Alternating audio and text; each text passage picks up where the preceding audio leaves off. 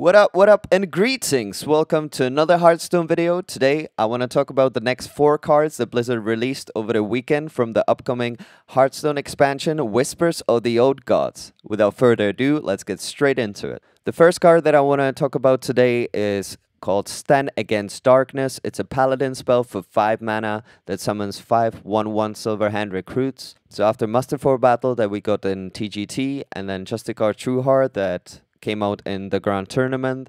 We got another means of summoning multiple Silver Hand recruits on the same turn. In TGT, we also got Quartermaster, and then in uh, Grand Tournament, Warhorse Trainer that we could further buff our Silver Hands recruits with. But unlike the two previously mentioned cards, I don't really think that Stand Against Darkness is any good. It's also quite boring of a card, unless there's a crazy card coming out which maybe buffs itself depending on how many silver hand recruits you have in play. I don't see this card being played at all. It just seems like Blizzard is starting to hate on paladins after everyone has been crying on Reddit about how unfair Secret Paladin is. Uh, they seem like, you know, they will just crush Paladin to the ground in this expansion. I, I don't know, but uh, it seems that way. Let me know what you think, guys. Um, yeah, I don't really want to spend too much time on this card because I think it's quite boring. I mean, every expansion has to have trash cards, and this might just be one of those trash cards. Second card that I would like to discuss today is Hogger, Doom of Elwynn. It's a 7 mana minion, 6-6, that whenever it takes damage, it summons a 2-2 Gnoll with Taunt. First of all, let's talk about why Doom of Elwynn. Hogger was a elite mob in World of Warcraft that used to be farmed a lot, but because he summoned a lot of gnolls, he subsequently killed the people trying to farm him, and yeah, hence the name Doom of Elwynn. He's the second legendary minion that they showed us from the set after Cthulhu. He's similar to Troggzor in terms of stats. You know what's happened to Troggzor? How everyone thought that he will be totally overpowered, but then Dr. Boom turned out to be the overpowered one. It's a transformed version similar to Polluted Hoarder and Corrupted Healbot. In a sense, it's a twisted version of a existing card of the Hogger that we all love and cannot play because it's so, so bad. Unlike regular Hogger though, that can potentially uh, create infinite value in terms of gnolls being summoned every single turn, this one will only spawn them when he gets damaged. So if he takes one damage every time, he will summon 12-12 worth of gnolls, which is amazing, you know, for the value, and he's pretty much guaranteed unless he's use hard removal of this guy to spawn at least one Gnoll. So it's going to be 8-8 for 7 mana in two cards, which is pretty good. You know, it's better than 8-8 in one card that you can just kill with like a Flame Lance. The bottom line is, though, that it's 6-6 is just harder to deal with than 4-4. I mean, I haven't seen Hogger survive until the next turn unless it was like a Tavern Brawl ever. It always dies to Frostbolt and Ping or Swipe or anything. It's such a scary card because if it's hidden behind those taunts and you don't have a spell, it will just kill you straight away, like in World of Warcraft. This Hogger potentially though is a counter to Cthulhu because if you remember Cthulhu doing his arcane missiles, every time he hits Hogger, he spawns a Gnoll. That Gnoll can tank two extra missiles. So potentially if Cthulhu is ruling the ladder, I can see Hogger as being sort of a tech card against those Cthulhu decks.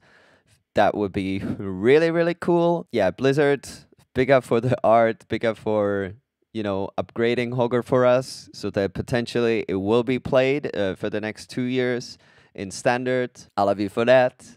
Hogger Doom of Elwynn. The third card that they revealed is called Giant Sandworm. It's a hunter card, 8 mana, 8 8. It's a beast, and whenever an attack of this minion kills another minion, it can attack again. What this essentially is, is Trample from Magic the Gathering. I sort of hope that they will make it into a keyword because I think this ability is something that's missing from Hearthstone. The difference in between uh, Magic the Gathering and Hearthstone is that in Magic, when you attack with your minions, the opponent chooses which of these minions he will defend with which of his minions, and which of the minions will go to his face. In Hearthstone, you choose to attack a minion or the opponent's face, unless the opponent has a taunt minion, which is sort of an exception from the rule. So, Giant Sandworm, it looks really, really crap on paper, but there are two cards in Hunter right now that are not being played at all because they suck, but this card could actually make them viable. One of them is Bestial Wrath. Bestial Wrath makes uh, your minion immune while giving it plus 2 attack. It's crap right now because it's a 1 mana immune for one turn. It doesn't really do anything. Unless you have a beast, you can't even activate it. 2 attack doesn't really do anything. You don't really care about your beast dying. But if it's an 8-8 that can kill multiple minions and it can attack into all of them, if you give them immune and it kills every single minion while not dying itself, that's a really good deal. The second card that gives you immune is Stable Master. So Stable Master is a 4-2 for 4 mana. That's really, really terrible stats.